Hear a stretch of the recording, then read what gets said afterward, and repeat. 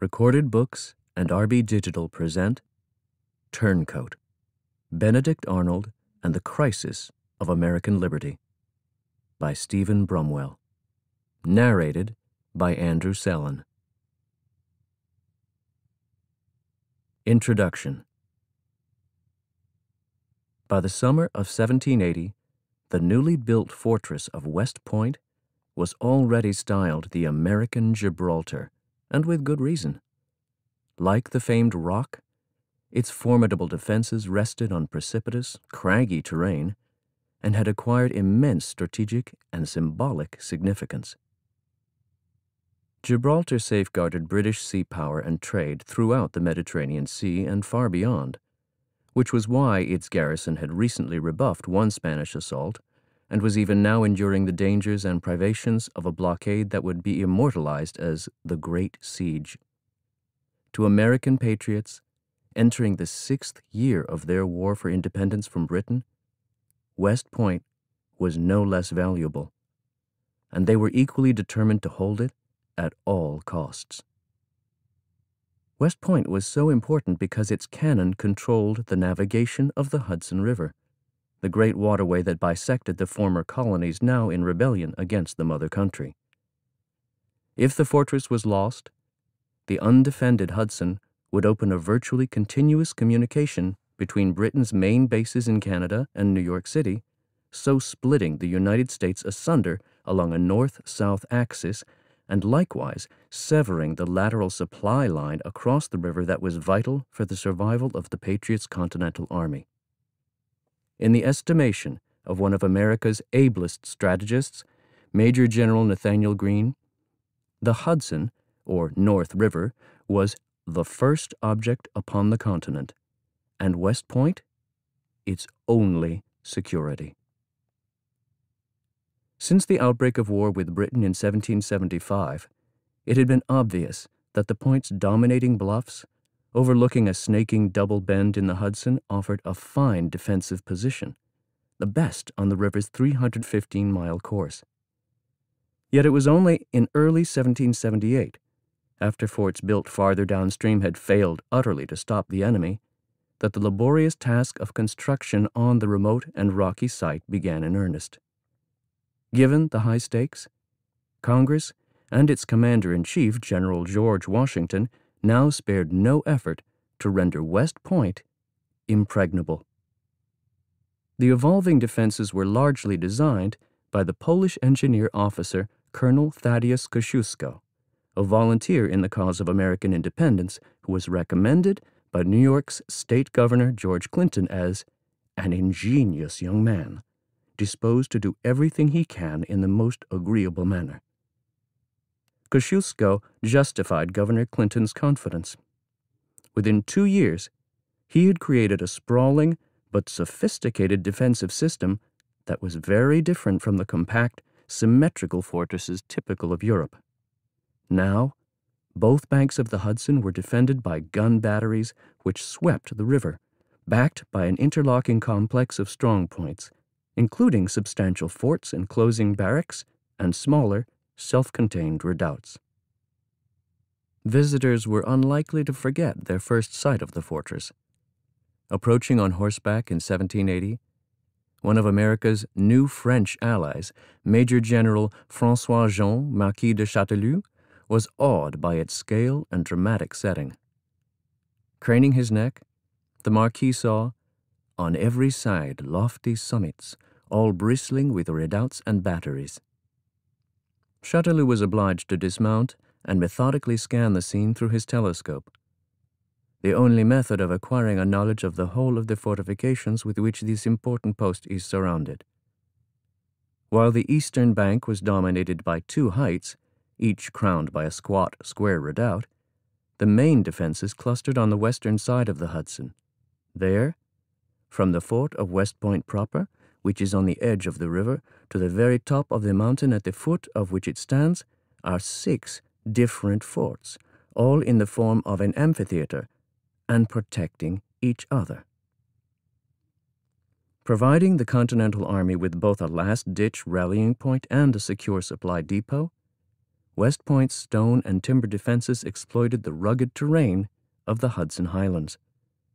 These heavily weathered, yet still daunting, remnants of ancient crystalline mountains rise like a great wall some forty miles above Manhattan, extending northwards in a broad mass 25 miles deep. They include peaks looming up to 1,200 feet above the waters of the Hudson.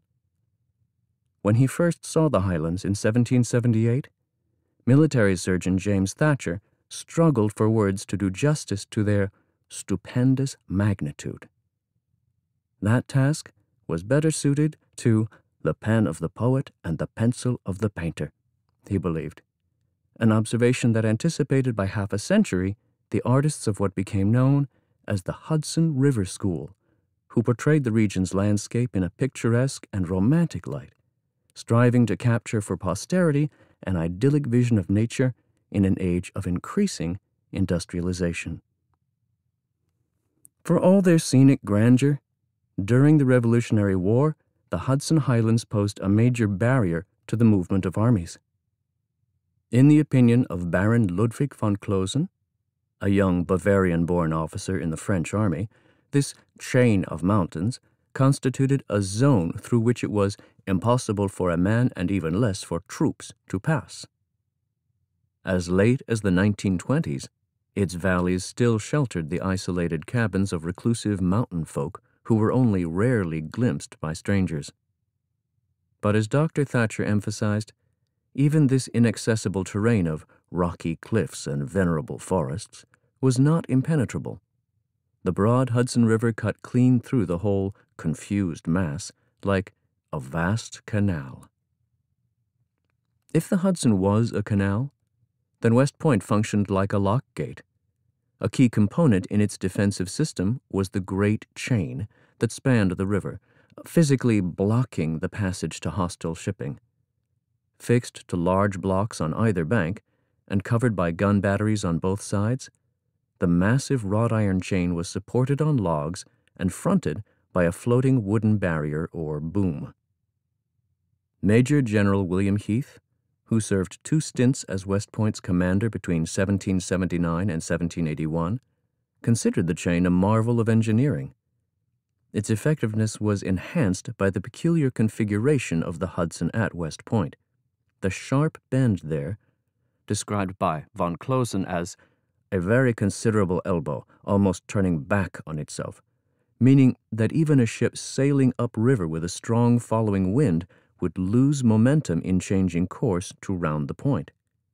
By the time a vessel recovered headway, General Heath noted with approval, she would be up against the chain itself, and all the while under a heavy shower of shot and shells. Contemplating West Point's extensive fortifications in September 1780, James Thacher expressed a popular opinion when he concluded that provided they were properly guarded, they might bid defiance to an army of 20,000 men. There was the rub. For all its multiple defenses, the forts, redoubts, batteries, chain, and boom, West Point was worthless without a resolute garrison prepared to fight to the death against all comers. Ever since West Point's first establishment, George Washington had feared that the Crown forces massed in and around New York City might make a sudden lunge up the Hudson against the fortress. It was imperative that command of the Hudson Highlands, of which West Point and its garrison formed the hub, should be entrusted to a worthy officer, a soldier of proven ability who was utterly dependable. In the late summer of 1780, Washington could at least rest easy in the knowledge that responsibility for what Chastellux characterized as the palladium of American liberty lay in the safest possible hands. Since Thursday, August 3rd, as that day's general orders announced, West Point had been entrusted to one of Washington's most celebrated and valued subordinates, Major General Benedict Arnold. In truth, George Washington had never intended that Benedict Arnold should command the Hudson Highlands. This was not because of any misgivings about Arnold's ability to shoulder that heavy burden. On the contrary, Washington was concerned that such a static posting would deny him the services of an outstanding combat officer during what promised to be an active and potentially decisive campaign. Within months of accepting command of the Continental Army in June 1775, Washington had realized that Arnold was that prized rarity in an army of amateurs, a born soldier and charismatic leader of men.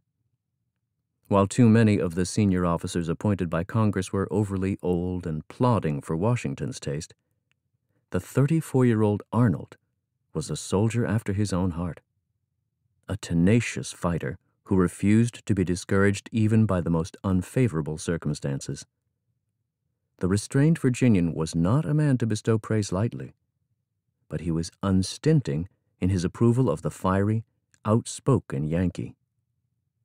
In December 1775, after Arnold had led a punishing march through the Maine wilderness to Quebec, Washington paraphrased lines from his favorite play, Joseph Addison's Cato, to express his undisguised admiration for Arnold's enterprising and persevering spirit.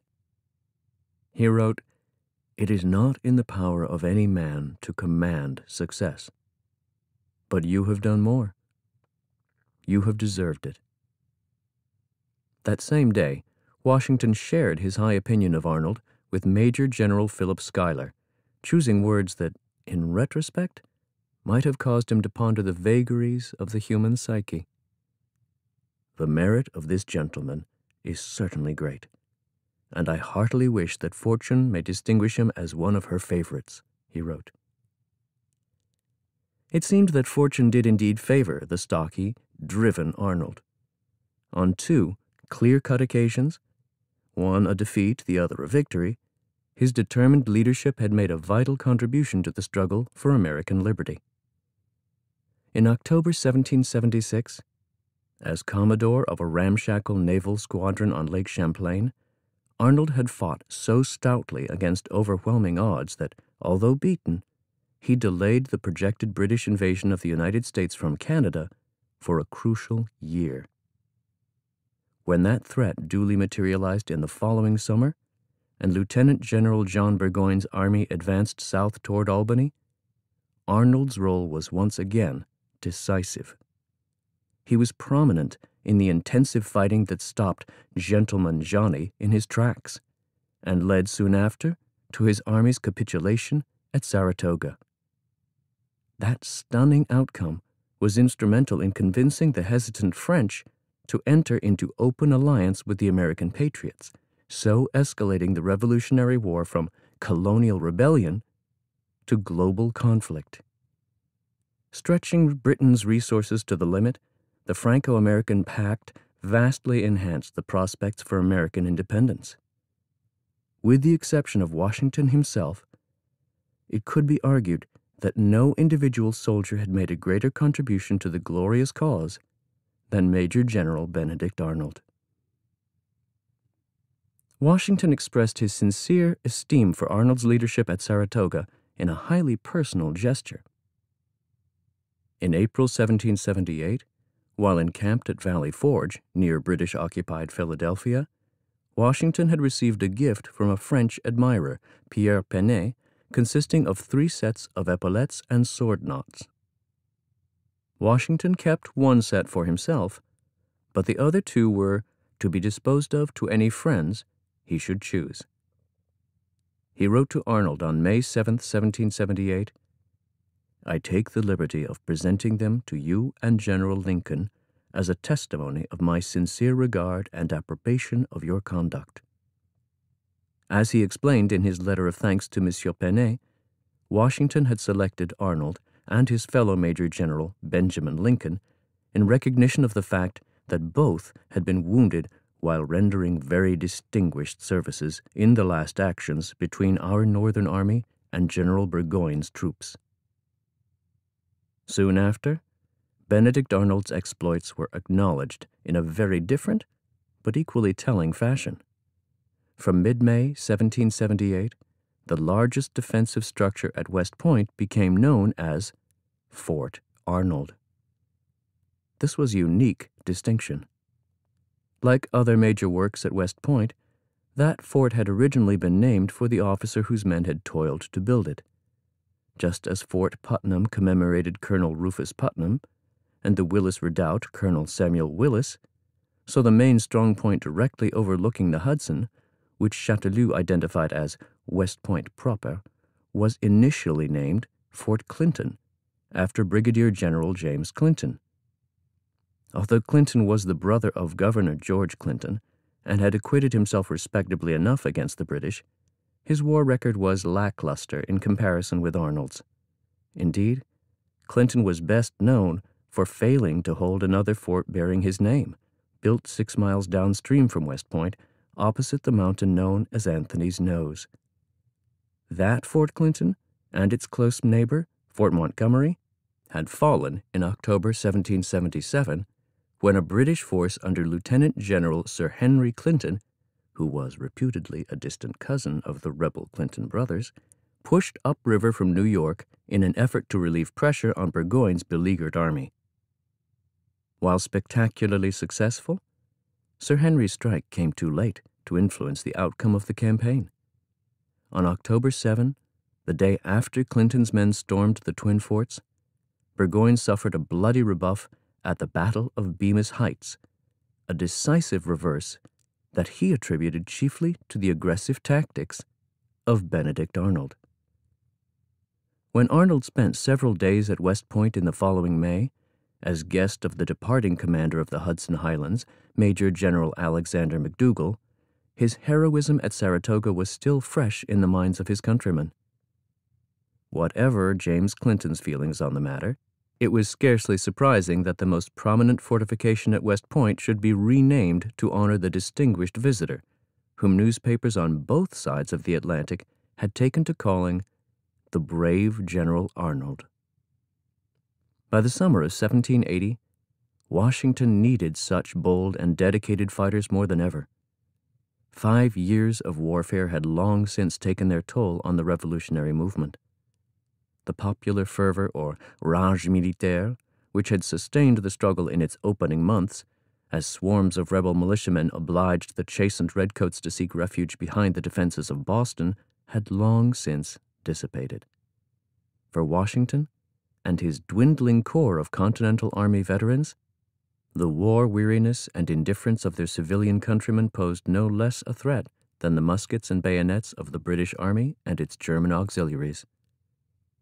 It had been hoped that the heavy shock sustained by the loss of Charleston, South Carolina, which surrendered to Sir Henry Clinton on May 12th, might finally jolt the jaded Americans to their senses before it was too late and the Patriot War effort succumbed to apathy.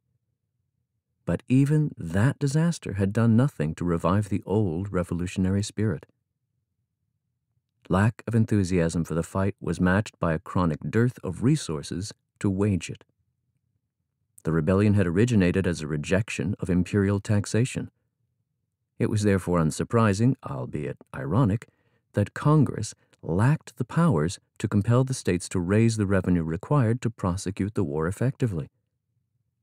Rampant inflation meant that continental dollars were now virtually worthless.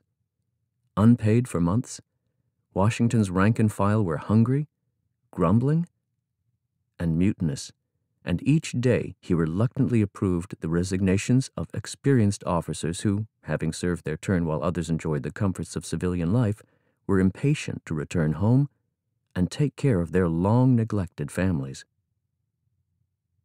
A ray of hope illuminated this gloomy scene in mid July with the arrival of a long expected French fleet under Commodore the Chevalier de Ternay, which landed an expeditionary force of 5,500 regular troops at Newport, Rhode Island. Their commander, General Jean Baptiste Donatien de Vimeur, Comte de Rochambeau, had instructions to act under Washington's orders. In conjunction with this well trained reinforcement, Washington hoped to launch an attack on the British garrison of New York. It was a blow that Washington had dreamed of landing ever since he had been hustled off Manhattan by Lieutenant General William Howe back in the fall of 1776, when he was still finding his feet as a commander. Now, if his countrymen rose to the challenge, and the states raised their specified quotas of manpower and supplies, that dream might become reality. With this tempting scenario unfolding in the summer of 1780, Washington had been puzzled by Arnold's uncharacteristically lukewarm response to the prospect of service in the field with the main army, and his marked preference for a sedentary role as commander of West Point. Six years later, as Washington remembered, it then appeared somewhat strange to me that a man of Arnold's known activity and enterprise should be desirous of taking so inactive a part. Arnold's reaction to General Orders of August 1st, which announced his assignment to command the Army's left wing, was even more perplexing. Like his friend Major General Greene, who was to lead the right wing, Arnold would exercise command over three entire divisions. It was a prestigious appointment that he might have been expected to jump at, both as undeniable proof of the recognition he had always craved and for the opportunities it could offer to burnish his credentials.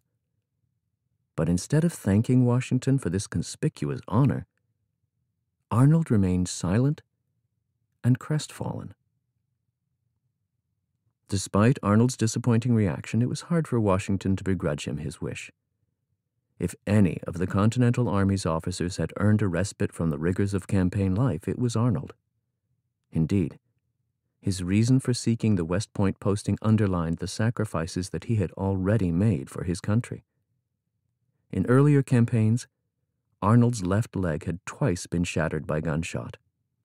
The first wound was sustained at Quebec in December 1775. He suffered the second and more grievous injury less than two years later at Saratoga. In an era when the surgeon's first response to such grave damage was to reach for his bone saw, Arnold was lucky not to lose the limb. But the scarred leg shrank obliging him to wear clumsy, built up footwear to compensate for his lost inches. For the rest of his life, he limped badly and was often racked with pain. After it was announced that Arnold was to command one wing of the army, he had told Washington's aide, Colonel Tench Tilghman, that his wounded leg would not permit him to be long on horseback, as such a senior position inevitably required. Washington said nothing at the time, but looking back, he recalled how Arnold's behavior had again struck him as strange and unaccountable. However, when it soon after became clear that the opportunity to attack New York had passed, Washington determined to comply with Arnold's desire and accordingly gave him the command of the garrison at West Point. As General Greene later explained, His Excellency had agreed to Arnold's proposition both to gratify an unfortunate officer who had become a cripple in the service of his country, and because he was persuaded that he would defend the place to the last. But long before Major General Benedict Arnold was granted his wish to command the Hudson Highlands, he had conspired to betray his country, comrades, and commander, and had bargained to sell the Gibraltar of America to the British. On September 26, 1780, the Continental regiments encamped around the little village of Tappan on the west bank of the Hudson, some 25 miles below West Point, were paraded to hear their officers read the general orders of the day. For the assembled troops, the opening comments praising the discipline with which they had recently performed their maneuvers were gratifying enough, yet otherwise unremarkable. After months of short rations and a night disrupted by alarms, many of them were too tired and hungry to care. But the announcement that followed gained the full attention of every man present. It began Treason of the blackest dye was yesterday discovered. General Arnold, who commanded at West Point, lost to every sentiment of honor, of private and public obligation, was about to deliver up that important post into the hands of the enemy. Such an event must have given the American cause a deadly wound, if not a fatal stab. Happily, the treason has been timely discovered to prevent the fatal misfortune. The providential train of circumstances which led to it affords the most convincing proof that the liberties of America is the object of divine protection. Of all the many thousands of general orders proclaimed during the course of the Revolutionary War, these were perhaps the most memorable and widely disseminated. Issued in Washington's absence by his deputy, Major General Greene, their wording was so concise and effective that they went far to shape the enduring public perception of Arnold's treason. Greene's orders resonated far beyond the ranks of the Continental Army when they were reprinted in newspapers, and in coming weeks their most striking phrases or variations on them seeped into many personal letters and diaries. So well did they describe the situation that when seeking to convey his own reaction to Arnold's treason, even such a prolific and thoughtful correspondent as Ensign Benjamin Gilbert of the 5th Massachusetts Regiment simply copied them down, word for word. Arnold's hellish plot failed, but only after it came so close to succeeding that Americans considered their deliverance to be nothing short of miraculous. The conspiracy was exposed at the last moment by pure chance, encouraging many patriots to echo Greene's belief that a benevolent deity must surely be watching over them. Yet this fortunate outcome did nothing to diminish the widespread shock that, of all men, one of the Revolution's most celebrated and high ranking soldiers could be capable of such barefaced and calculating treachery. In his diary entry for September 26th, Colonel Israel Angell of the 2nd Rhode Island Regiment captured the prevailing mood of disbelief. The most extraordinary affair happened yesterday that ever has taken place since the war began, he wrote.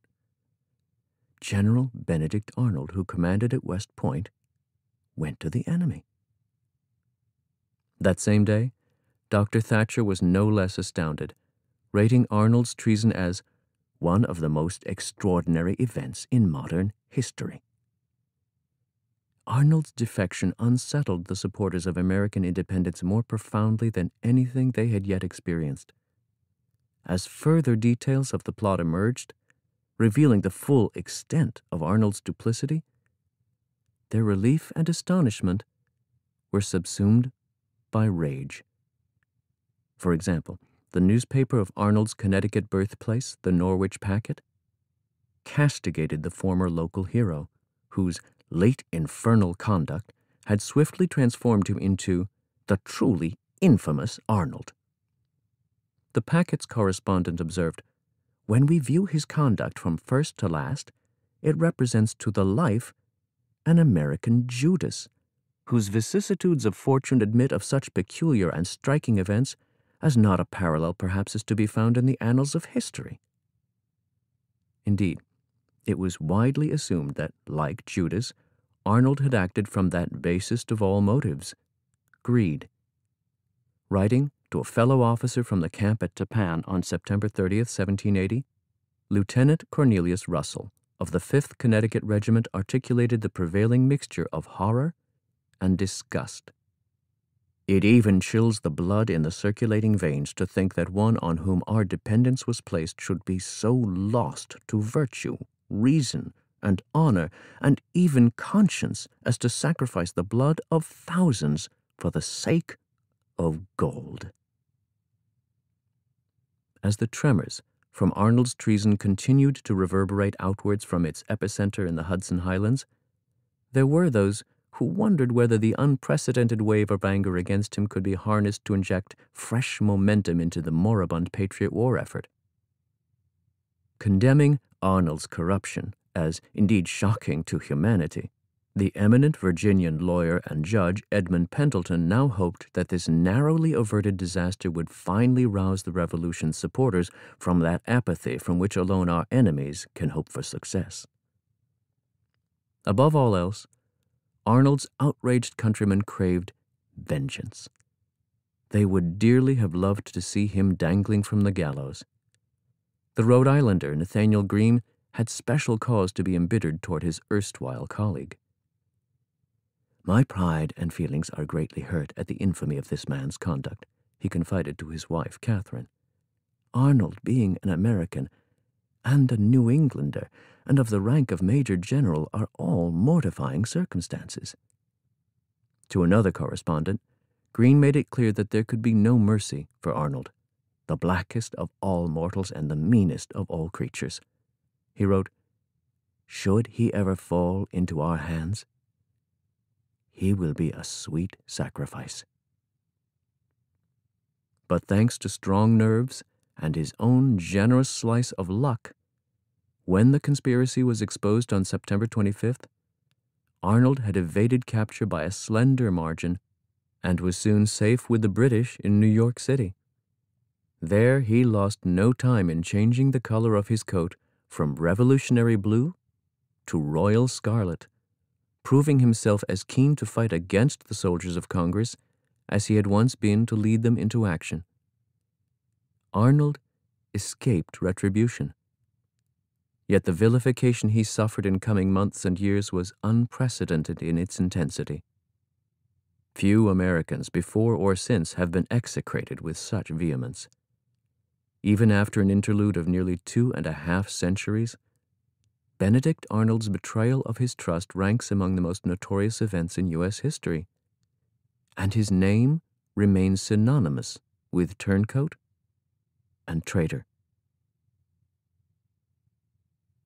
When the Chevalier de Chastellux visited West Point in November 1780, the fort's central role in the drama that had recently unfolded heightened his excitement as he contemplated its impressive defenses. As the Marquis went on his way, his head remained filled with thoughts of how the fate of the thirteen states has depended in great measure on this important post, and how Arnold, that extraordinary man, at once the honor and the opprobrium of his country, had been poised to deliver it to the British. Six years later, Chastellux shared these observations and many others when he published the diary he had kept while traveling through the emerging United States between 1780 and 1782. The Marquis wrote in his native tongue, but an English translation soon followed. As Chastellux was already a noted philosophe and man of letters, and a close friend of the famed Washington, his travels attracted much attention on both sides of the Atlantic. The book's eager readers included a distinguished British veteran of the Revolutionary War, Lieutenant Colonel John Graves Simcoe. Of all the many thousands of soldiers who fought in vain to return the rebellious American subjects of King George III to their former allegiance, few had served more zealously than he.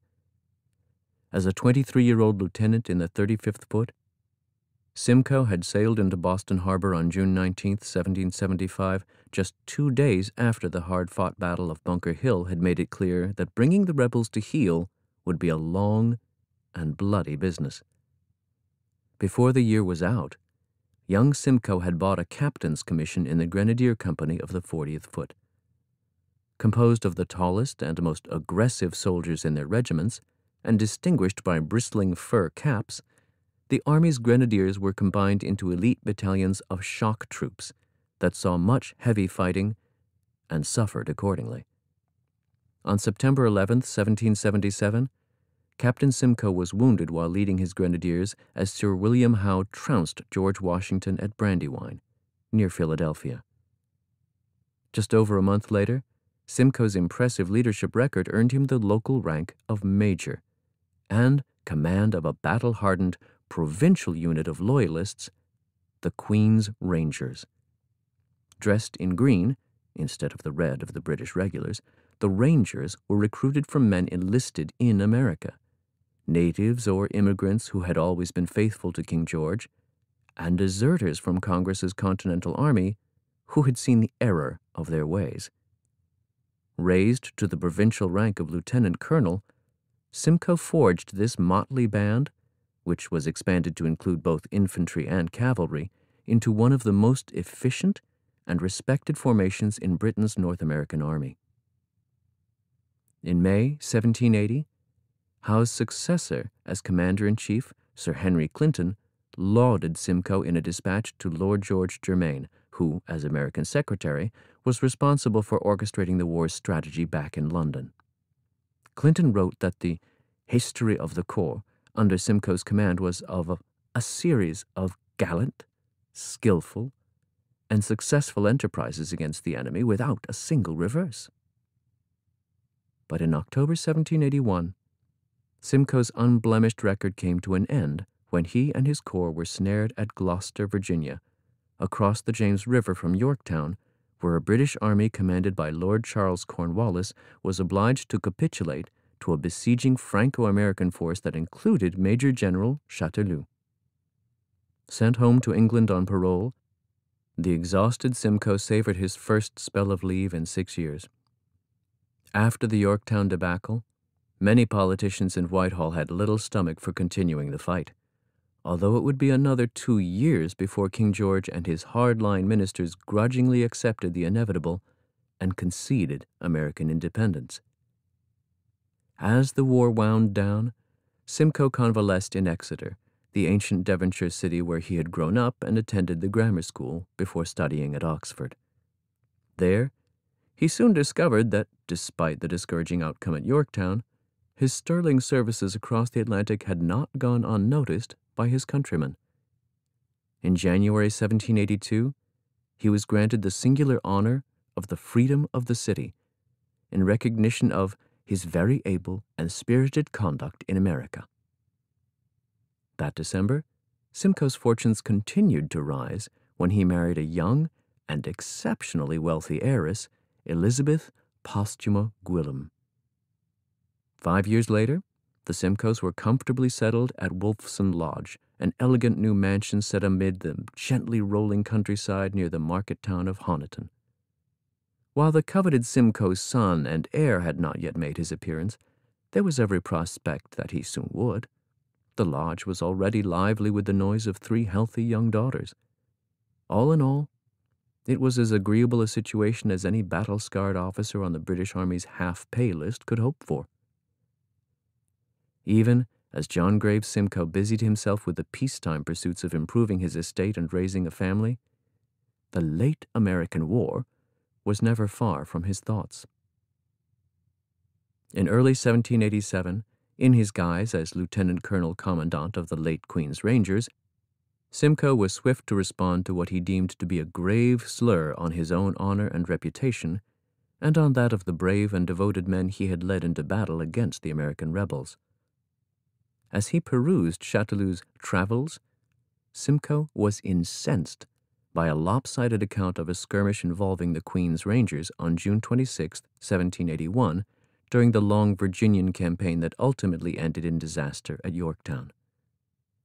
That engagement had been named after a tavern called Spencer's Ordinary, near where the roads to Williamsburg and Jamestown intersected. Simcoe's Queen's Rangers, backed by a detachment of Hessian sharpshooters, or Jäger, under the highly experienced Captain Johann Ewald, had been escorting a convoy of cattle when they encountered advance units pushing forward from the army of Washington's local commander, Major General Marie-Joseph Gilbert du Motier, Marquis de Lafayette. Fought in open woodland, the smart action that ensued was a confused, swirling affair of crashing gunfire, flashing bayonets, and clashing sabers. But Simcoe's increasingly outnumbered command held its own until Cornwallis's main force came up in support. Judging by the speed of his response, Simcoe must have read Chastellux's Travels hot off the press.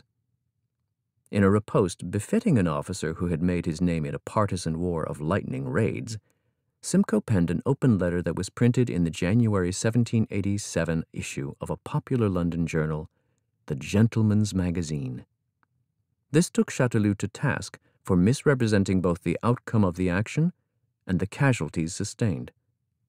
Suddenly transported back from damp, peaceful Devon to sweltering wartime Virginia, Simcoe was able to counter Chastellux so quickly and in such detail because he had long been busy compiling an exhaustive Journal of the Operations of the Queen's Rangers. A limited edition of Simcoe's book was published privately later that year and distributed to a small circle of acquaintances with a specially illustrated copy presented to King George III. While clearly a matter of enduring pride to the touchy Simcoe, For most readers of the Gentleman's Magazine, the brisk little confrontation at Spencer's Ordinary was just another obscure scrimmage in the long lost American War.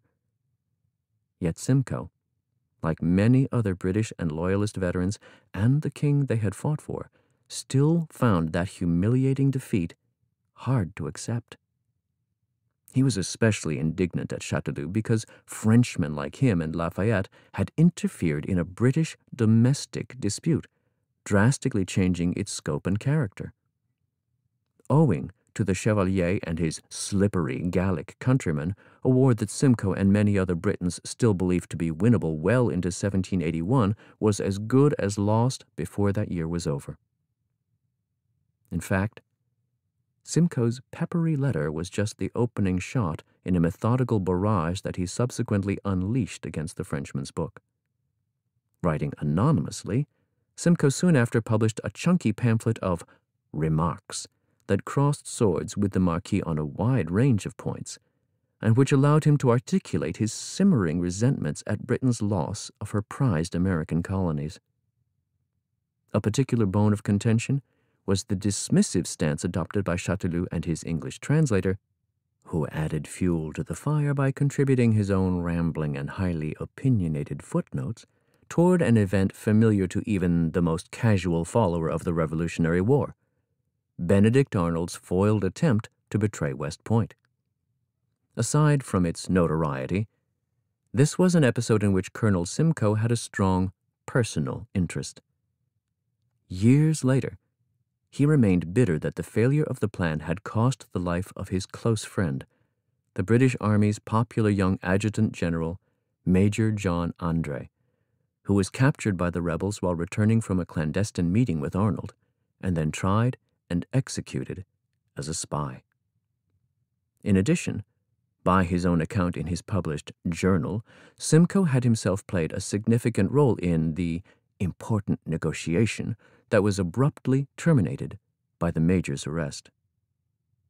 In his remarks, Simcoe stayed tantalizingly close mouthed regarding the specific details of his own participation in the events surrounding Arnold's defection he nonetheless took the opportunity to make some pointed comments about that episode's broader significance, presenting underlying facts that he was convinced Chastellux had deliberately ignored.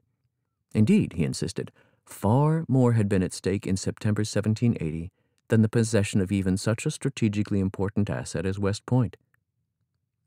By that stage in the war, Simcoe was certain, the rebellion was teetering on the brink of collapse with increasing numbers of war weary Americans disposed toward a negotiated peace settlement with Britain.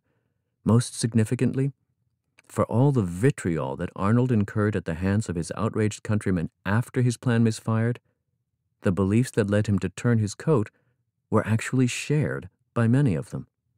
Arnold, so Simcoe argued, was not some lone wolf, but rather symptomatic of a far wider discontent. He posed a question. Could Arnold alone give up West Point? In Simcoe's opinion, clearly not. Indeed, Arnold's assertions, the reasons he gave publicly to explain his conduct in the fall of 1780, that America in general was satisfied with the offers of the British nation, that it was averse to the French and to the continuation of the war, were, so Simcoe maintained, nothing less than the simple truth. Had the active, enterprising American Arnold, and those who thought like him, succeeded in relinquishing West Point and thereby delivering a severe blow to Washington's army, the fractured British Empire would have been reunited. In that hypothetical scenario, Arnold would have enjoyed the blessings of his contemporaries and been venerated down the years as the favorite of posterity. But of course, the plan had unraveled, laid bare by sheer chance when it was on the very cusp of implementation. And as an intelligent officer like Simcoe must have known, his belated attempts to sway public opinion were entirely futile. Far from being hailed as a would be deliverer of America, Arnold was destined to be reviled as his country's most despicable renegade. In his remarks, John Graves Simcoe allowed himself a rather cryptic observation on the Benedict Arnold affair. Much of this extraordinary event will doubtless ever be concealed, and probably little more than what has already transpired will be known to the present generation.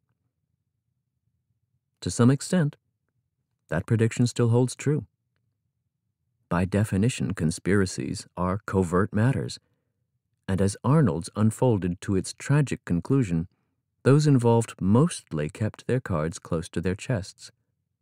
Even after the plot's dramatic denouement, some of them chose to remain silent regarding important aspects of the story, taking key secrets to their graves. Simcoe, it seems, was content to do just that. To the frustration of historians, so was Arnold. After the revolutionary generation passed on, however, far more evidence was revealed than Simcoe could ever have anticipated. The most significant disclosures involved the secret correspondence between Arnold, Major Andre, and other collaborators and contacts, preserved among the extensive papers of Sir Henry Clinton that were acquired by the University of Michigan in 1928 and that are now held in its William L. Clements Library.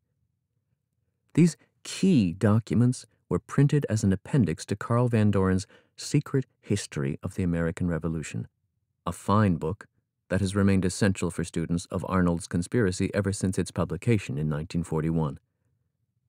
Yet the undoubted importance of the selected correspondence reproduced by Van Doren has deflected attention from many other unpublished documents among the Henry Clinton papers and elsewhere, especially the United Kingdom's National Archives at Kew. In combination with neglected public sources, these not only add fresh details and perspectives that help to explain the broader background to Arnold's conspiracy, but can also be used to challenge prevailing interpretations of his treason's genesis and impact.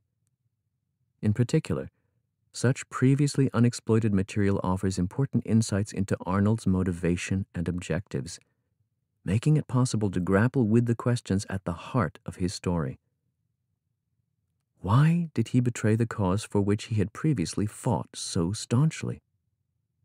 To what extent were Arnold's actions influenced by his mounting resentment at the reluctance of Congress to fully recognize his merits? How significant was his obsession with personal reputation, or, as gentlemen of his era preferred to call it, honor? And how did he reconcile that strict code with behavior that was widely perceived as utterly dishonorable.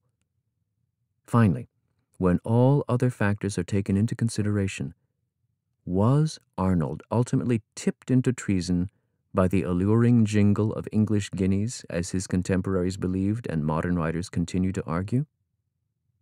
Or were his own expressions of a profound ideological change of heart actually sincere?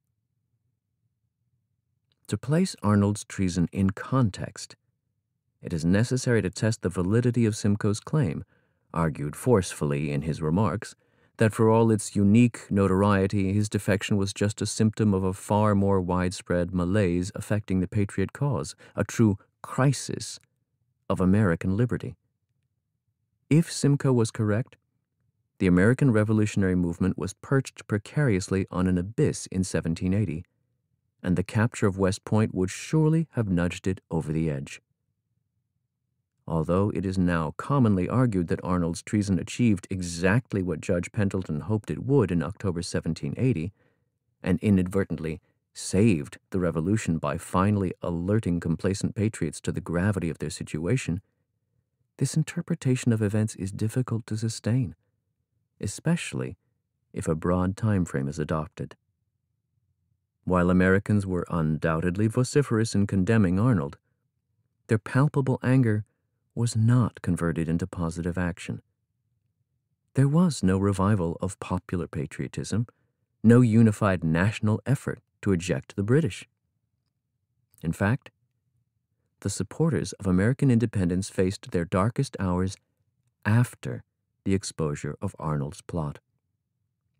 The low point came in January 1781. Unpaid, ill clad, and hungry, hundreds of exasperated Continentals mutinied and marched on Congress for redress. That same month, Benedict Arnold went on the rampage in Virginia, beating scarcely any resistance. As a brigadier general of King George, and with Colonel Simcoe at his side, he was now determined to bring his rebellious countrymen to heel by fire and sword. The crisis continued for a year after Arnold's defection, and was only ended by another timely intervention of Providence, as manifested in the extraordinary combination of circumstances that enabled Washington and his French allies to trap Cornwallis at Yorktown. Fundamental to any analysis of Arnold's defection, and also to Simcoe's contention that by 1780 many other Americans were equally disillusioned with the struggle for independence from Britain, is the underlying issue of allegiance during the Revolutionary War, and the extent to which loyalties were already fixed or were capable of shifting as that conflict ground on for year after frustrating year. Recent scholarship on revolutionary America has emphasized how, ironically, the rift between crown and colonies began to open at a time when their relationship had never been closer. In 1763, Britons on both sides of the Atlantic celebrated victory over their common enemy, France, in the Seven Years' War, a global struggle that included distinct North American campaigns remembered as the French and Indian War. They anticipated a bright new future together under the young King George III, who had succeeded his grandfather George II in 1760. Yet the urgent need for colonial revenue to help pay for the long, successful but costly war, allied to the elimination of the traditional French threat from Canada, generated growing resistance to British taxation and simultaneously encouraged thoughts of independence from a state whose protection was no longer deemed essential. Within 12 years, sporadic protest at British legislation had escalated into armed insurrection. This short time span helps to explain why, when the fighting erupted, truly committed rebels did not constitute a majority of the population. The most recent estimates and there is no way of tallying exact numbers, put the revolution's active supporters at two fifths of the total. That was perhaps twice the number of firm loyalists, but equal to the proportion who preferred to remain neutral and play no part in the struggle. In 1775, despite a recent influx of German speaking settlers, all three groupings still shared overwhelmingly British roots. It has been argued that the emergence of a distinct American national identity was a consequence of, rather than a precursor to, the Revolutionary War. The wide ranging campaigning of the Continental Army throughout the 13 former colonies, which introduced northern born soldiers to the South and vice versa, was vital for the metamorphosis from British Americans to citizens of the United States. Benedict Arnold's treason unfolded during what was primarily a civil war within the British Empire, in which the brunt of the fighting was borne by men of British stock. This interpretation of a conflict that, in retrospect, would be characterized as a war for American independence was accepted without question by participants on both sides. For example, responding to reports of the first bloody confrontation between redcoats and militia at Lexington and Concord on April 19, 1775, the Massachusetts lawyer and patriot Colonel James Otis had pronounced, The fearful day has arrived. A civil war has actually commenced in our land. Likewise, a British officer who published a revealing account of the struggle in which he had fought, and while it was still going on, entitled his work the History of the Civil War in America. The short, sharp skirmish at Spencer's Ordinary that Simcoe remembered so clearly reflected the war's underlying fratricidal character in microcosm. That morning, each party to the fighting fielded English speakers born on both sides of the Atlantic. to foreign combatants even after years of conflict, the distinction between Britons and Americans remained blurred. For example, Jaeger Captain Ewald described the Virginian marksman he faced as the so called wild Irish riflemen. Although they were now enlisted in the American Patriot cause, Ewald identified them primarily in terms of their ethnicity. In an era of evolving affiliations, the term American, with all that it now implies, is deceptive. While quickly appropriated by the Whig opponents of British rule, and sometimes applied to them by their enemies, the term could be claimed with equal justification by the Loyalists or Tories. To avoid the misleading and anachronistic suggestion that the supporters of independence were the only true Americans embroiled in the Revolutionary War, they are here frequently differentiated by more specific terms patriots, revolutionaries, or, as the British Army typically put it, rebels. In open, armed rebellion against their anointed monarch, General George Washington and his comrades were technically guilty of treason, and initially anticipated the hangman's noose if their cause was crushed. The Royal Proclamation of Rebellion, issued in London in August 1775, had called on all Crown officers to suppress the insurrection and to bring the traitors to justice. But from the very start of the fighting, it was clear that the American rebels, who were effectively transplanted Britons and who enjoyed widespread sympathy among the war's vocal opponents in the mother country, would not face the traditional fate of traitors. That same August, in response to Washington's complaint that his captured officers were being treated as felons rather than as their rank deserved, Britain's commander in chief in North America, General Thomas Gage, left no doubt that as rebels customarily destined to the cord, they had escaped very lightly indeed. Gage knew what he was talking about. As a young officer, he had seen the bloody retribution enacted upon the defeated Jacobites in 1746.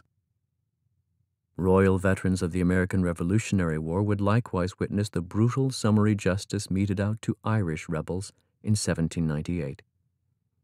But while the British never punished the adherents of American independence as traitors, their opponents took a far harsher view of the Loyalists.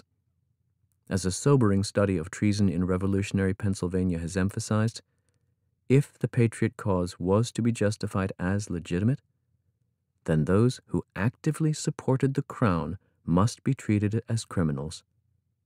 Ironically, while the British brought no prosecutions for treason against Pennsylvanian rebels, the state's ardent Whigs proscribed or prosecuted as traitors hundreds of citizens who had never deviated from the allegiance in which they were born. What was true of Pennsylvania also applied to other states, notably New York and New Jersey. In a conflict where resistance to a rebellious regime was punished more vigorously than defiance of the established authority, the unrestrained condemnation of its best known defector becomes easier to comprehend.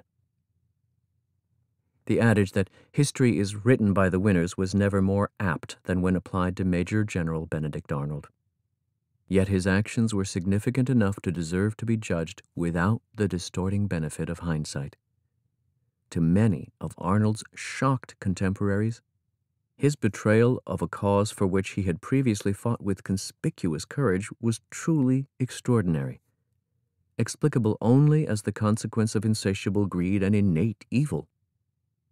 Viewed against the backdrop of a stalemated civil war that had reduced much of his country to chaos, however, Arnold's decision to change sides invites other, more nuanced explanations.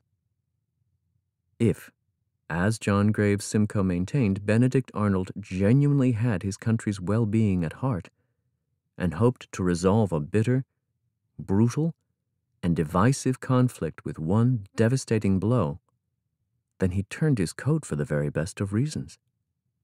While totally at odds with the prevailing consensus verdict on Arnold and his defining treason, this is an interpretation that merits careful consideration within any balanced reexamination of America's most infamous traitor.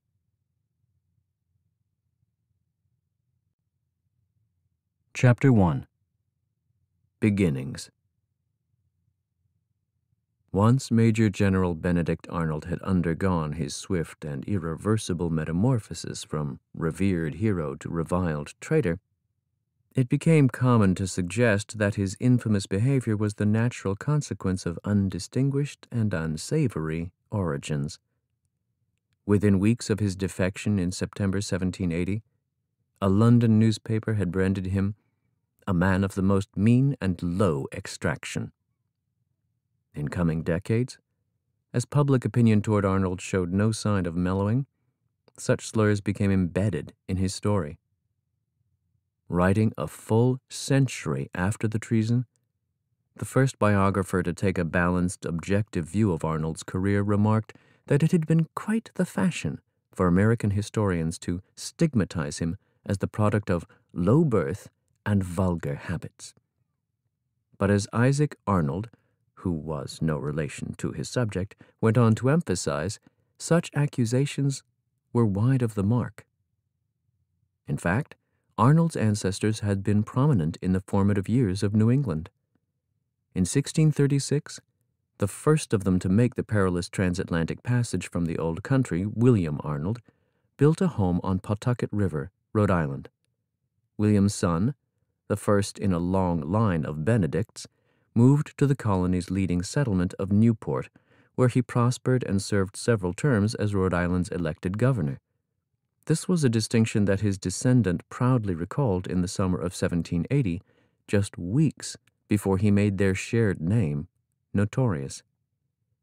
Governor Arnold's son, the next Benedict, also took a seat in the colony's governing assembly, but was dogged by money problems. In consequence, his son, the third Benedict Arnold and the father of the future Revolutionary War general, started out as a cooper's apprentice. From humble beginnings, he swiftly set about rebuilding the family's fortunes.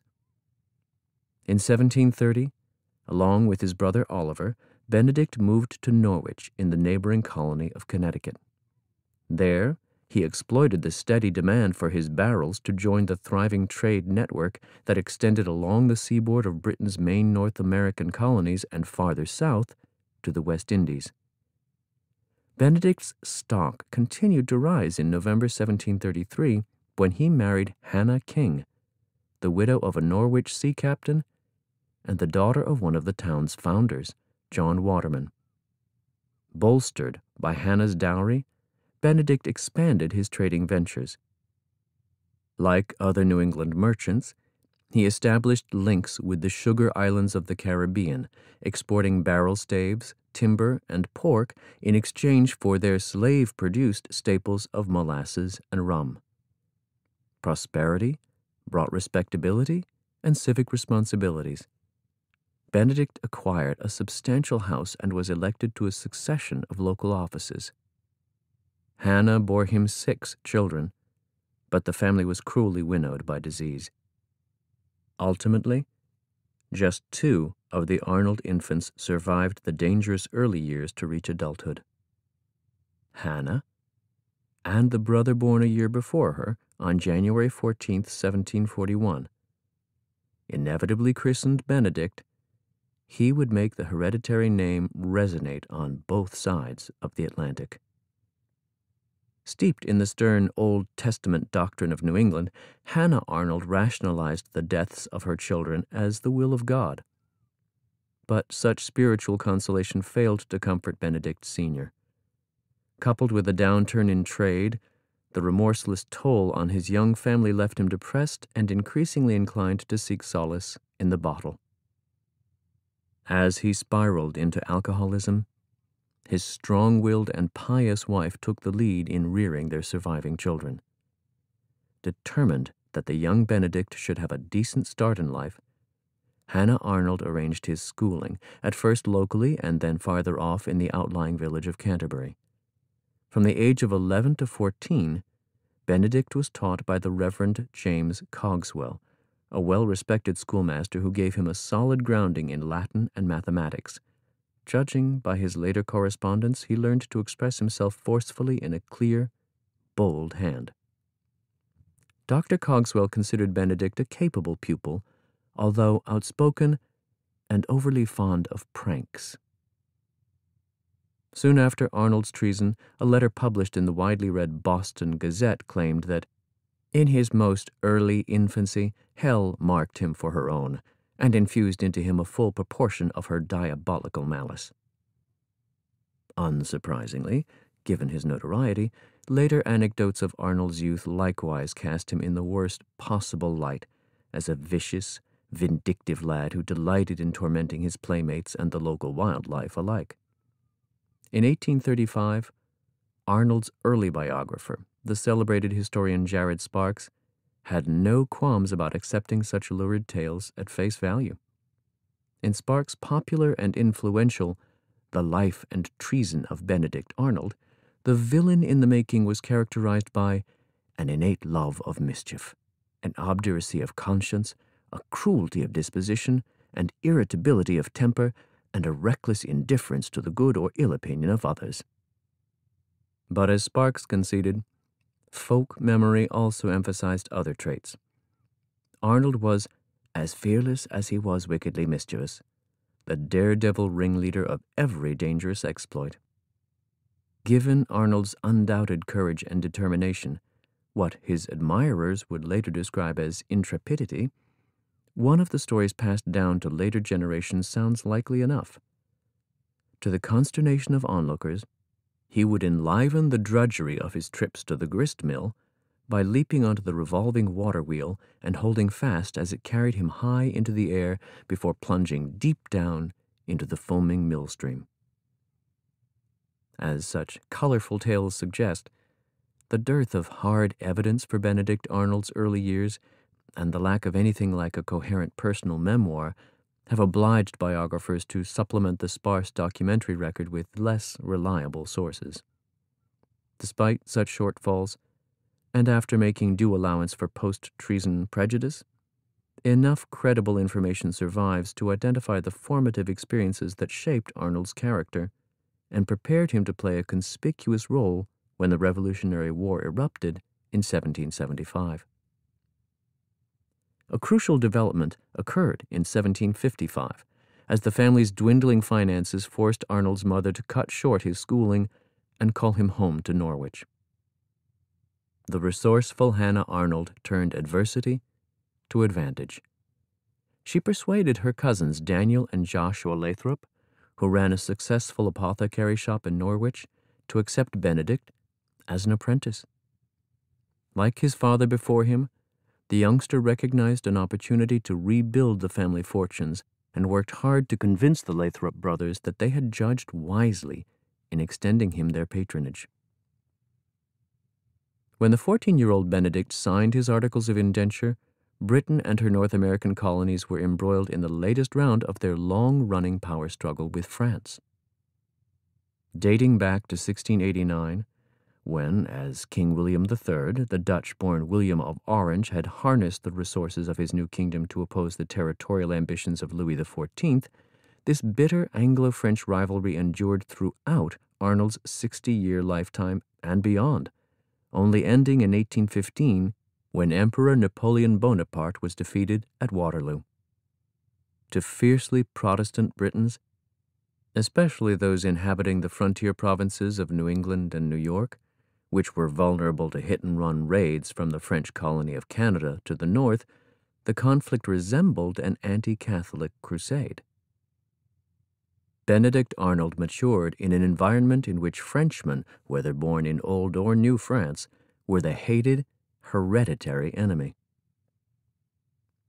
Ingrained Francophobia intensified during the summer of 1757 when a powerful force of French regular troops, Canadian militia, and Native American Indian allies under Louis Joseph, Marquis de Montcalm, thrust south from Montreal to besiege Fort William Henry at the heel of Lake George.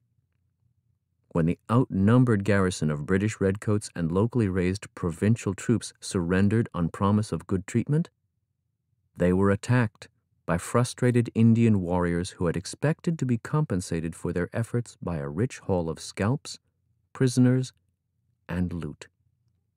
Before the French could restore order, several hundred Anglo Americans, including soldiers' wives and children, were slaughtered or dragged off into captivity.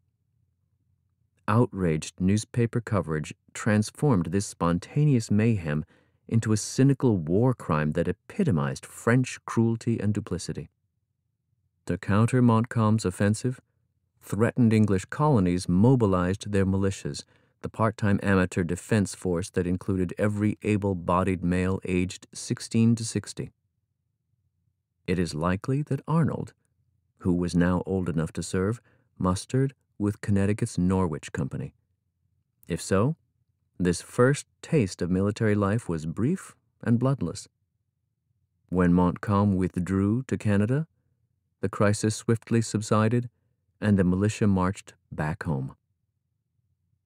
The summer of 1757 marked the high point of France's war effort in North America.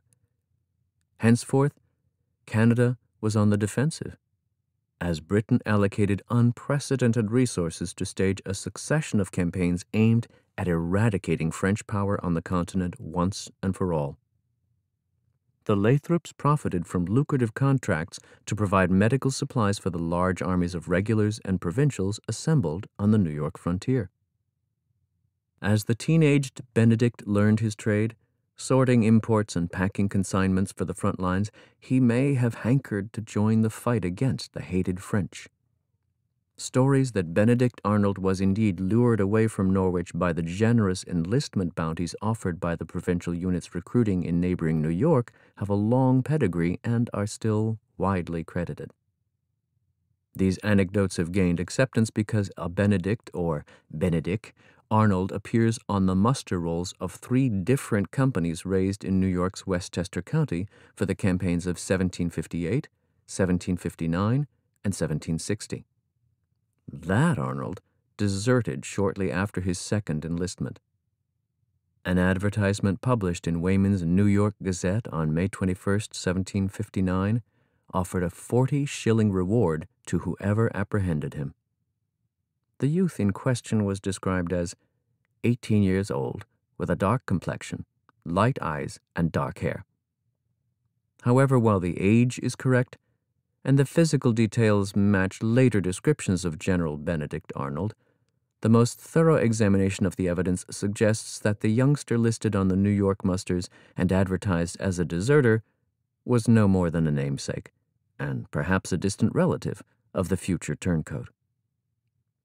If Benedict Arnold really had been advertised as a deserter, the fact would surely have been mentioned in the outcry following his truly infamous defection to the British. An equally compelling argument against the enduring belief that young Arnold flitted in and out of military service between 1758 and 1760 is the fact that the Lathrop brothers not only allowed him to complete his apprenticeship, but increasingly employed him to represent their business interests on trading trips they would have been unlikely to entrust their hard earned professional reputation to an irresponsible runaway.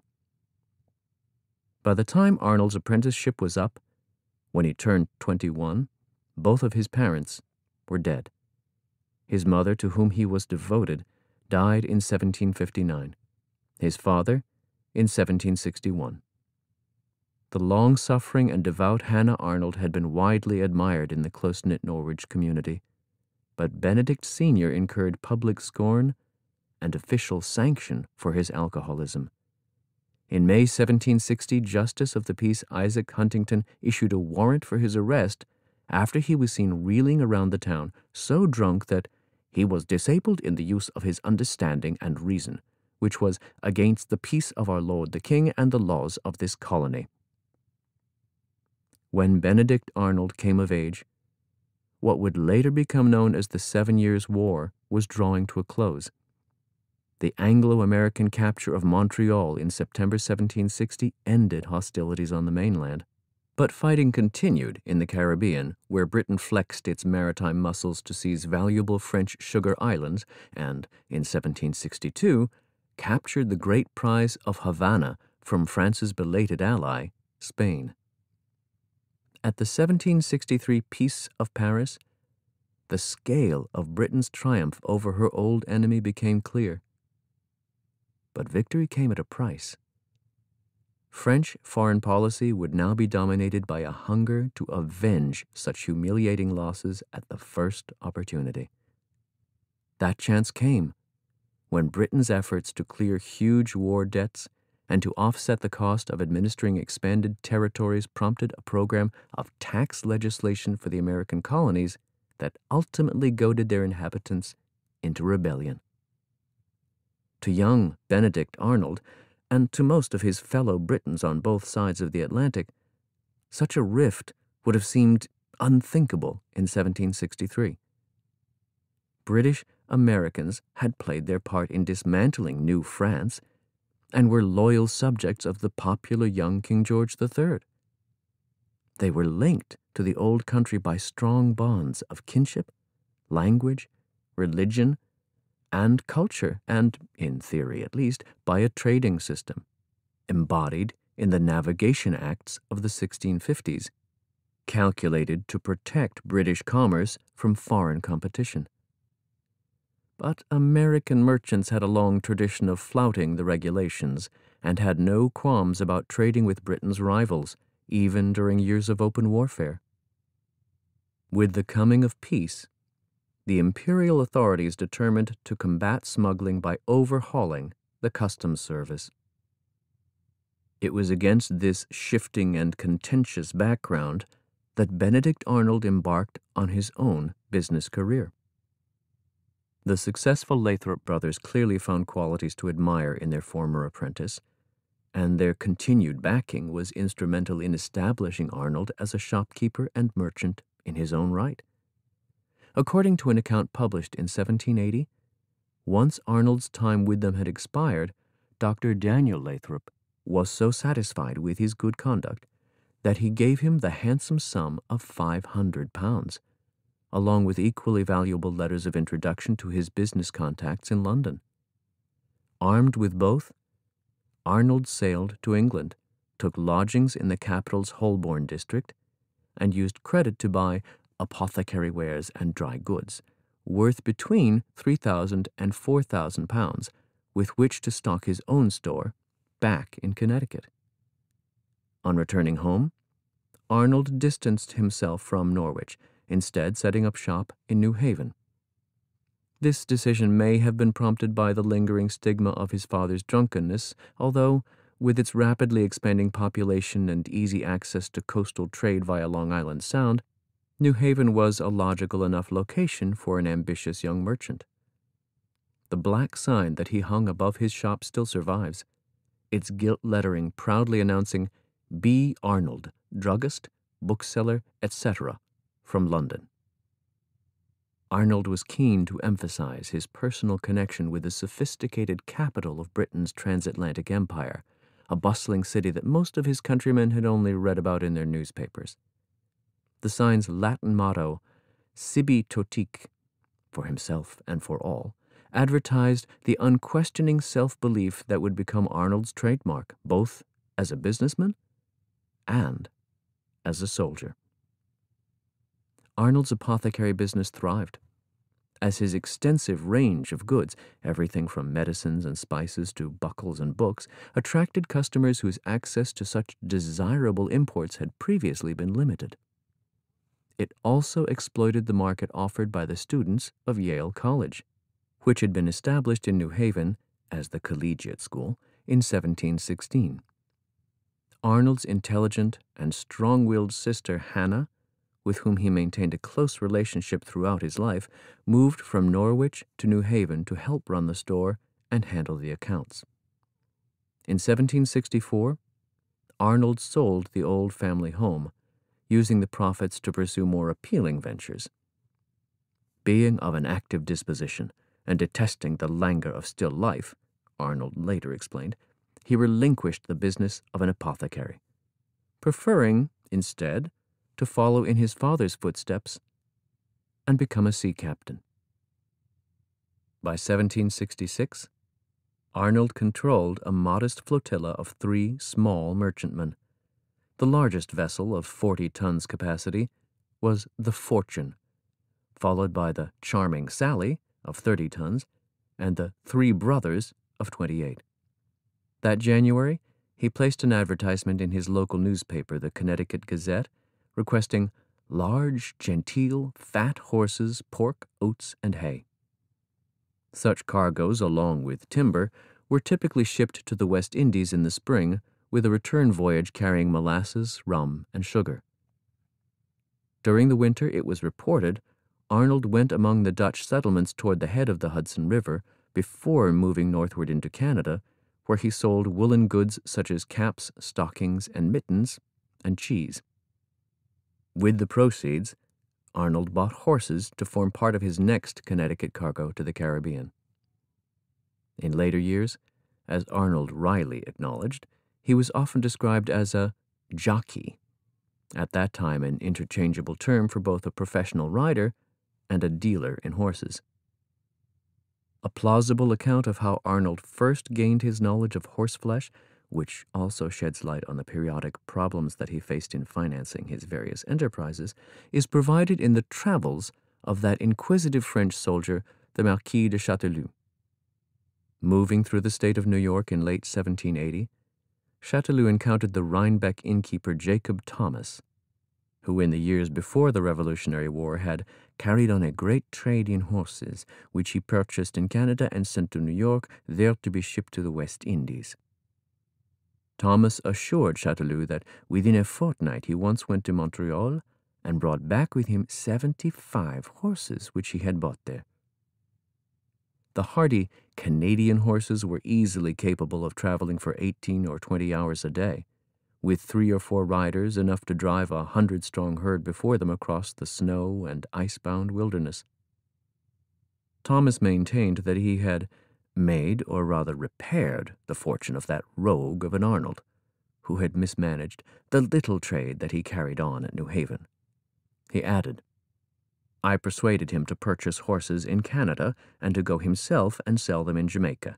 This speculation alone was enough to pay his debts and set him once more afloat. Still in his mid twenties, the former apothecary, Dr. Arnold, was ranging far and wide in search of profits captaining his own vessels on ocean voyages, and familiarizing himself with the inland waterways that together formed a corridor through the rugged region between Albany and Quebec. Following the course of the Hudson River, then crossing Lake George and Lake Champlain to reach the Sorel or Richelieu River, and ultimately the St. Lawrence. This was a route much traveled by armies and raiding parties in previous wars. Arnold had chosen a hard dangerous life, in which he was his own master, commanding crews and expecting unquestioning obedience. In the process, he became an expert seaman and acquired an intimate knowledge of locations that would soon resume their traditional strategic importance.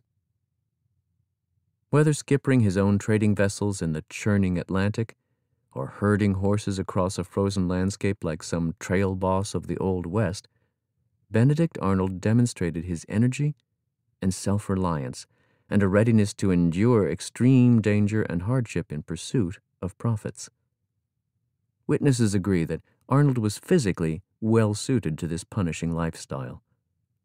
A younger neighbor in New Haven remembered him as something below the middle height, well formed, muscular, and capable of great endurance. But there was more to the brawny New Englander than brute force. He was a finished adept in all athletic exercises and the most accomplished and graceful skater that his neighbor had ever seen. Other contemporaries concur in describing Arnold as of average height, which in 18th century terms would equate to perhaps 5 feet 5 or 6 inches tall. Massachusetts soldier Alpheus Parkhurst, who was at West Point when Arnold defected, remembered him as a smart-looking man, about middling size. According to the Hessian officer Johann Ewald, who served alongside him in 1781, he was a man of medium size, well built, with lively eyes and fine features. And in the vivid recollection of another old soldier, Saratoga veteran Samuel Downing, Arnold was dark-skinned, with black hair and of middling height. Downing added, there wasn't any waste timber on him. Arnold's proven ambition and determination helped to ensure his acceptance within New Haven's merchant community.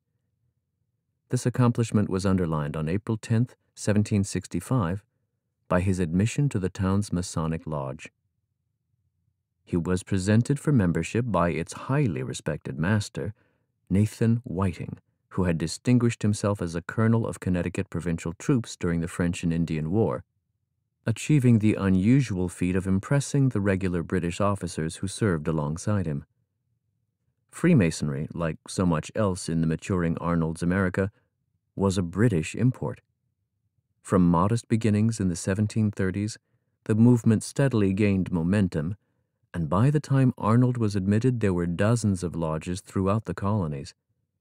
Embodying the reasoning of the Enlightenment while retaining elements of ritual, Freemasonry offered an alternative to conventional Christianity. Many Masons espoused deism, a belief in destiny and the presence of a divine, all seeing providence. By becoming a Mason, Arnold was entering a select brotherhood whose members already included influential men like Benjamin Franklin and George Washington. Crucially, among the New Haven Lodge was his future father in law, the town's high sheriff, Samuel Mansfield. Post treason accounts claimed that Arnold insinuated himself into the good graces of Miss Mansfield as a means of restoring his fortunes after some unspecified dissipation led him first astray and then into the debtor's prison. According to this scurrilous report, when Arnold debauched his daughter and made her pregnant, Sheriff Mansfield, a very passionate man, initially wanted to shoot him. But a swift marriage ensured that the couple were both restored to favor. Despite such tales, Arnold's marriage to Margaret Peggy Mansfield on February 22, 1767, was no shotgun wedding. The first of three sons, named Benedict as usual, was conceived within wedlock and was born on Valentine's Day, 1768. Richard arrived in August 1769, and Henry in September 1772. Instead, Arnold's alliance with a prominent New Haven family testified to the respectability he had achieved since moving to the town just five years before. With elevated status came an obligation to defend it at whatever cost. In Europe, gentlemen frequently fought duels in response to real or perceived slights on their honor, despite growing criticism that such encounters were barbaric. Like Freemasonry, to which it offered a distinctly unfraternal counterpoint, the rise of dueling in North America coincided with Arnold's lifetime. Affairs of honor proliferated during the Revolutionary War when Continental Army officers increasingly regarded themselves as gentlemen required to behave like their touchy British opponents.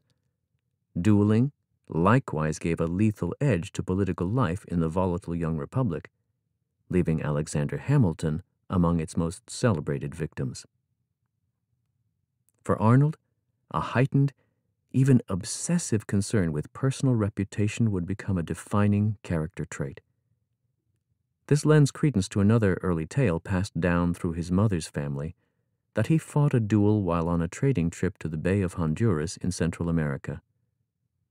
Aggrieved that Arnold had apparently spurned an invitation to socialize aboard his own merchant vessel, a grouchy English captain named Crosskey cursed him as a damned Yankee who lacked manners. Arnold prickled at this insult and promptly issued a challenge. Crosskey accepted, and it was fixed that the meeting should take place with pistols next morning on a nearby island, with each duelist accompanied by only his seconds there to see fair play and a surgeon to tend any casualties but when Crosskey's boat approached, he was accompanied by an unauthorized group of locals. Arnold warned him at pistol point to abide by their original agreement and land without them.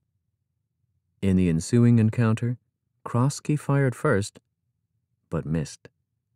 Arnold's answering shot winged his opponent. Once the surgeon had dressed Crosskey's flesh wound, Arnold announced his determination to stand another fire. If he survived, he would shoot to kill. At this, the Englishman wisely proffered his apology. Honor satisfied, Arnold accepted. Arnold's readiness to resort to less formal violence is documented in an incident that highlights the tensions resulting from British efforts to tighten up the regulation of colonial trade after 1763 and the extent to which such policies encouraged his open support for the nascent cause of American liberty.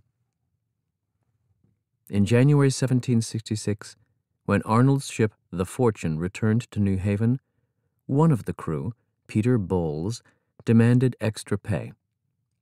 It seems likely that his motive was to blackmail Arnold as a smuggler who had flouted the law by trading with foreigners. When Arnold refused his request, Bowles went to the customs house to report him. As the collector was away, the sailor decided to withhold his information until that official returned. Learning of his crewman's actions, Arnold tracked him down and meted out what he later described as a little chastisement. Stubborn, or stupid, Bowles refused to leave New Haven. The irate Arnold now extracted a written confession that, tempted by the devil, Bowles had tried to inform against him. This time, Bowles swore that he would quit town immediately, never to return. Just hours later, when the exasperated Arnold was notified that Bowles had still not budged, he headed a gang of sailors who dragged him from his bolt hole to the town green, stripped and tied him to the whipping post, then gave him forty lashes. By taking the law into his own hands, Arnold had gone too far for some of New Haven's more conservative leaders. Along with nine others, he was bound over for trial. Yet, given the widespread acceptance of smuggling and the bitter hatred of informers, popular sympathy lay with the accused. The day after grand jury members John Wise and Tilly Blakesley called for action against Arnold's gang, a mob paraded the two men's effigies through the streets before hanging and burning them in contempt. Yet Arnold was found guilty and fined 50 shillings. He voiced his anger by writing a letter to the Connecticut Gazette sarcastically asking whether it was good policy to vindicate caress, and protect an informer, a character particularly at this alarming time so odious to the public. Arnold framed his question within a more general rant against the oppressive acts which had provoked fierce opposition and nearly ruined the trade on which the colony depended.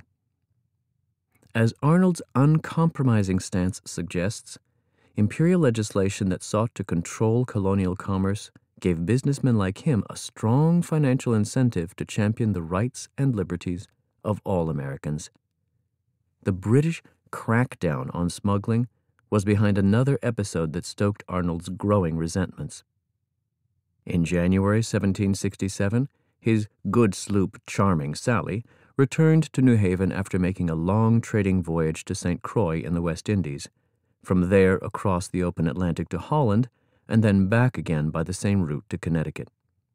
Arnold was not aboard. According to ship's mate Rutherford Cook and another crewman, Caleb Comstock, they had arrived in Amsterdam on August 30th to find Arnold waiting for them. When they made sail for St. Croix on October 5th, they left him on shore. In a sworn complaint lodged on February 5, 1767, Cook testified that on reaching New Haven, he went to His Majesty's Customs House with the ship's register and papers, but was required to leave them with officials while the sloop was searched for contraband. Although nothing illicit was found, and Cook gave his oath as required by an Act of Parliament, he had since been denied access to the ship and her papers. Evidence for the outcome of the story is missing, but Arnold must have been on hand soon after to deal with the situation in person. He married Margaret Mansfield in New Haven just weeks later.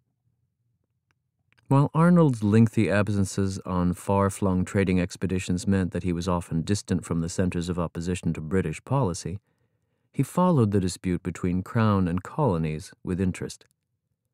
During the summer of 1770, for example, Arnold was in the West Indies in a corner of the world whence you can expect no news of consequence. He nonetheless heard reports of the riot dubbed the Boston Massacre, which had occurred on March 5th after a menacing mob prompted jittery redcoats to open fire, killing five. Writing to a friend back in Connecticut, Arnold's outraged response placed him among Britain's hardline opponents. I was very much shocked the other day on hearing the accounts of the most cruel, wanton, and inhuman murders committed in Boston by the soldiers. Good God! Are the Americans all asleep and tamely giving up their liberties, or are they all turned philosophers that they don't take immediate vengeance on such miscreants? With growing family commitments, Arnold's prolonged trading trips became increasingly onerous.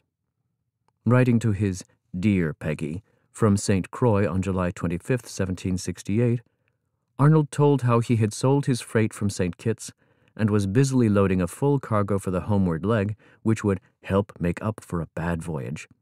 A verdict that Peggy should not repeat.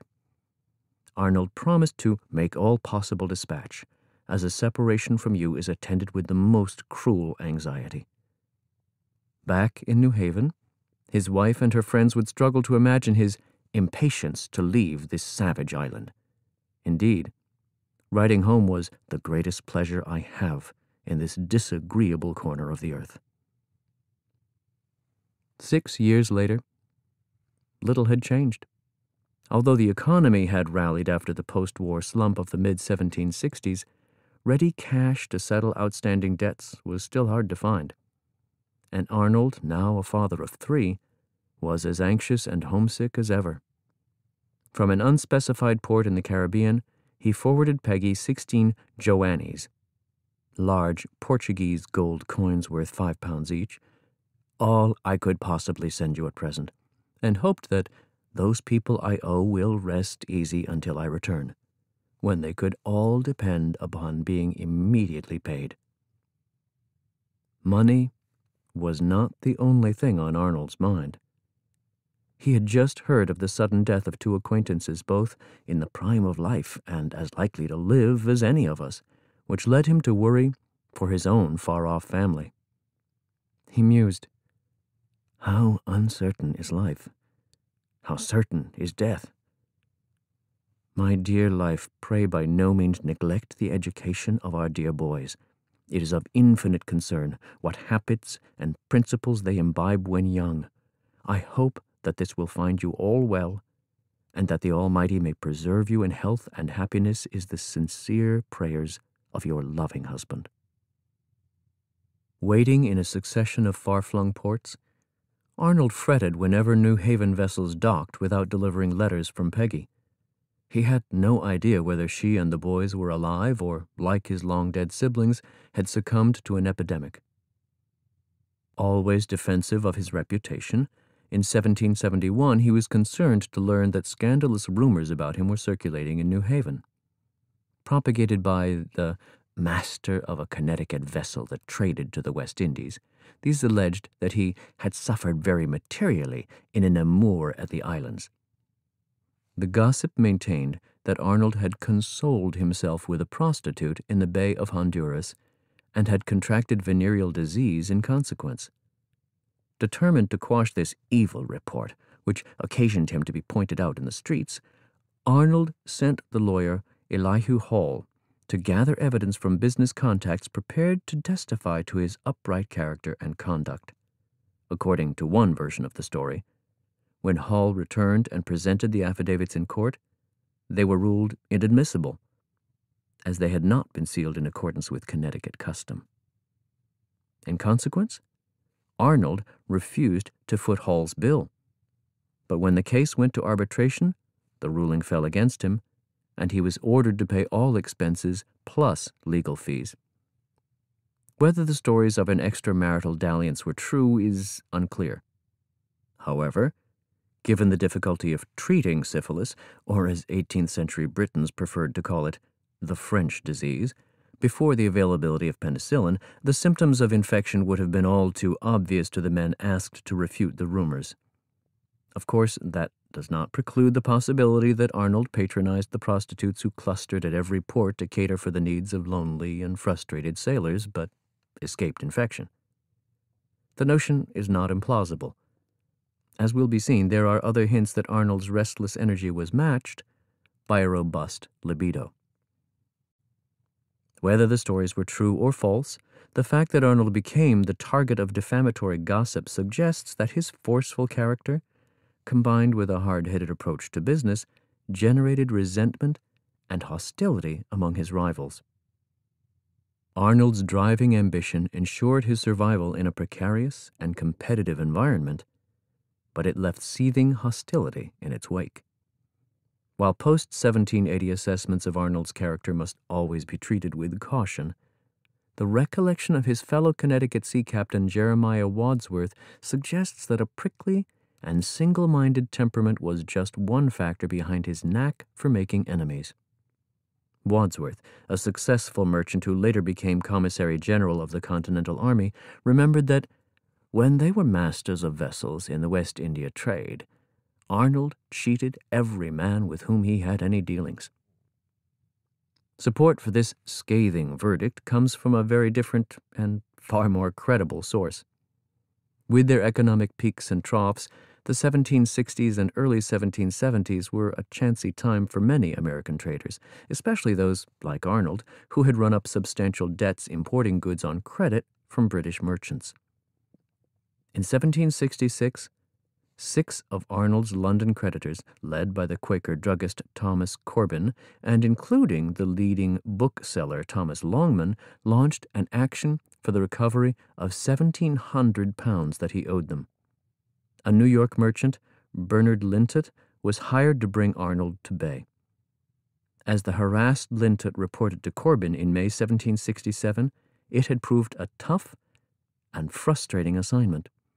He had spent almost two weeks in New Haven wrangling to bring Arnold to a more just settlement, not least because the wily Yankee skipper had employed a most vigorous and designing man, the local attorney, Jared Ingersoll, to assist him in everything. Concluding that Arnold was determined to do Corbin and his fellow creditors all possible injustice, Lintott arrested his person. But Arnold was released on bail and it was only when Lintott impounded the charming Sally and her cargo, and after a good deal of altercation, that it was agreed he should clear half his debt.